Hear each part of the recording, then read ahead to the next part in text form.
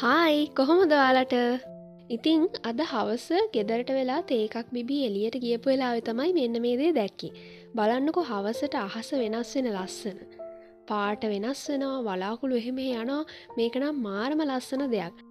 මම හිතනවා මේ වීඩියෝ එක බලන ඔගොල්ල අතරේ මම වගේම ස්කයිලවස්ලා තවත් ඇති කියලා. ඉතිං ඔය විදිහට ටිකෙන්ටික හවස්වරුවත් ගෙවිලා ගිහින් කරුවලත් වනා මේ දවස්සල පෝය ළඟ නිසා හඳත් ලස්සනට පේනවා. හරි හරි දැන් කතා කර ඇති එහෙනම් අපි දැයි යමු ස්ටඩිස් වැඩ පටන්ගන්න. ඔගොල් හිතන ඇති මම චැනල එක මුල් කාලෙදි ටිකක් වැඩිපුර ස්ටඩි වලොක්සේම අරගෙනවා ඇයි දැන් ඒවගේ වීඩියෝස් වැඩිය ගේන්නේ නැත්ති කියලා. ඉතින් ඇත්තරම කියන්න ඕනි මං පහුගේ දවස් ටිකේ කරමින් හිටපු ස්ටඩීස් වැඩ ඩිප්ලෝමා සේවගේ දේවල් හැම දෙයක්ම දැම් මේ වෙද්දි මම ගොඩක් හොඳින් සාර්ථකව ඉවර කරලා තියෙන්නේ.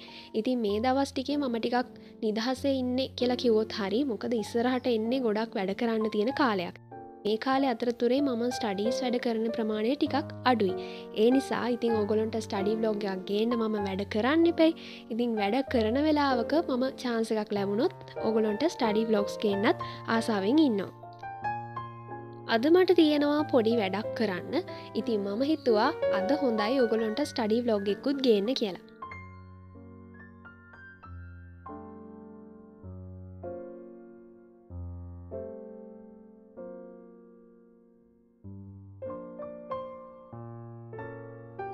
තව දෙයක් මතක් වුණා. මේ වීඩියෝ එක බලන ඔයා මගේ චැනල එකට අලුත් කෙනෙක්ද? එහෙනම් ඔන්න වාටත් පුළුවන් මගේ චැනල එකත් එක දිගට මේකතු වෙන්න චැනල එක සබස්ක්‍රයිබ් කළ තියාගන්න. ඉතින් තවත් ලස්සන වැදගත් වීඩියෝස් බලන්නවාට පුළුවන්. ඒවගේම ස්ටඩි ටිප්ස් සම්බන්ධ දේවල් ස්ටඩි බ්ලොග්ස් ම චැනල එකින් ඉදිරියටත් ඔගොලොට ගෙන් බලාපොරොත්තුවෙන් ඉන්නවා. ඕගොලොන්ට තවත් පුංචි දෙයක් කියන්නද? මේක මමත් අහම්බෙන් වීඩියෝ එකකින් දැකපු කොටසක්. ඇත්තටම අපි වැඩ කරන්න ඕනේ අපි කෙනෙක්ව අභිභවා යන්න හෝ ඒ කෙනාව පරද්දලා යන්න හිතාගෙන නෙමි අපි වැඩ කරන්න ඕනේ අපේ ඉලක්ක තියාගන්න ඕනේ.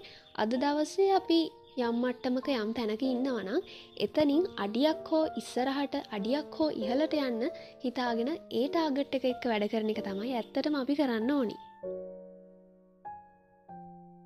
සමහර දවස්සල්ට YouTube එකෙන්ම ස්ටඩි මියසික් එකකුත් දාගෙන එකත් අහන ගමම වැඩ කරගෙන යන්නත් මම ගොඩක් කැමතියි.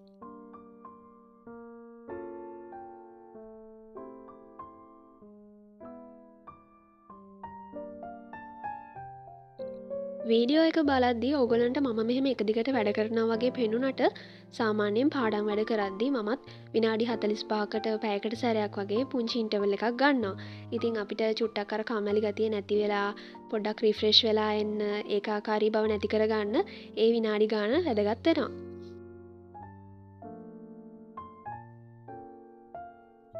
මේක මගේ තවත් පුරුද්දක්. මම සාමාන්‍යයෙන් ඉස්සර එලවල් කාලෙදිත් මේ දේ කරලා තියෙනවා. පාඩන් වැඩ කරන වෙලාවල්වලට පුංචි කම්මලිකමක් දැනෙනකොට ආස සිින්දුවක් අහගෙන ඒකත් අහනකමක් වැඩ කරන්නත් මම කැමතියි.